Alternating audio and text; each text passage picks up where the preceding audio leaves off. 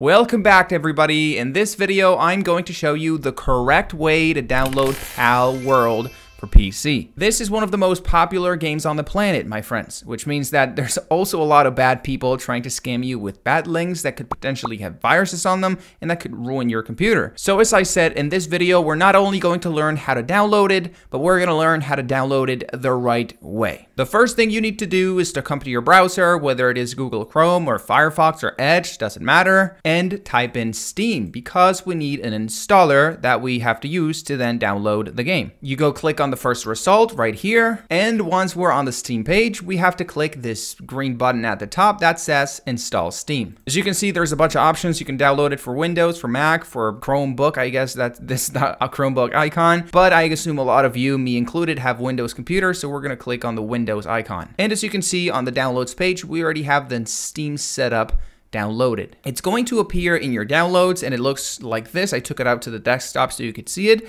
By the way, it is not the Steam app. It is the Steam Setup app so you can download and install Steam on your computer. And it will present us with a very simple setup process. As you can see, we have to choose language and we have to choose where we want Steam in our computer. I recommend you just uh, leave it as is because it, it is usually the best option. And well, once that's done, you click on install and it will start installing Steam on your computer. I'm not going to do it because I already have it on my computer, so I can't install it twice, but it's going to be a very quick process, maybe one, two minutes, depending on your SSD speed. And finally, once it's done, you'll be able to access Steam. As you can see, I already have an account. If you don't have an account, it's another minute of introducing your name, your email, your phone number, all that stuff. It's fairly quick. And last but not least, if you want to download Palworld, you just have to come to the top to the search bar and type in Pal world. As you can see, it's on the quick results. We click it. And well, since it's already in my library, I can't show you the download button because I, I already have it. But you will find something like this. Buy Palworld, the price, and add to cart. Once you buy it, you'll find it in your personal library of games. Of course, you won't be able to play it off rip. You have to download it first. It's a fairly large game, so it will take maybe one, two, three hours depending on your internet connection. And once that's done, finally, you'll be able to play Palworld. That is it, my friends. If there's there's any questions regarding this video or any requests for future videos you want me to make, please tell me in the comments. And well, the only thing left to say is I hope you enjoy Palworld. It's an amazing game,